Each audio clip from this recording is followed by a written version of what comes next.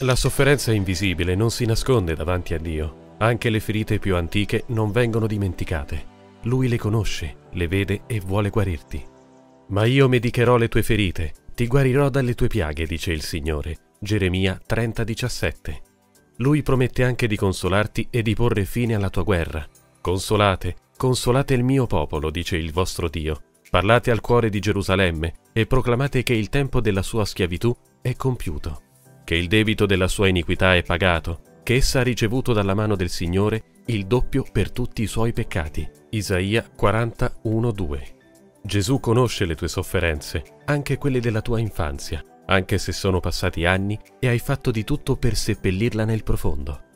Il Padre Celeste vuole spalmare il balsamo curativo sul tuo cuore e guarirti. Gesù stesso guarirà il tuo cuore. Lo Spirito del Signore è su di me perché mi ha consacrato con l'unzione per predicare il Vangelo ai poveri. Mi ha mandato per guarire chi ha il cuore spezzato. Luca 4:18. Non avere paura, la sua mano è gentile, il suo tocco gentile, non ti farà mai del male, vuole toglierti la spina, il dolore che a volte ti travolge ancora. Gesù è l'unico che conosce perfettamente dal primo giorno della tua storia fino ad oggi. Caro amico, fidati di lui. Non conosco nessun altro medico così compassionevole e completamente qualificato per prendersi cura di te e guarirti.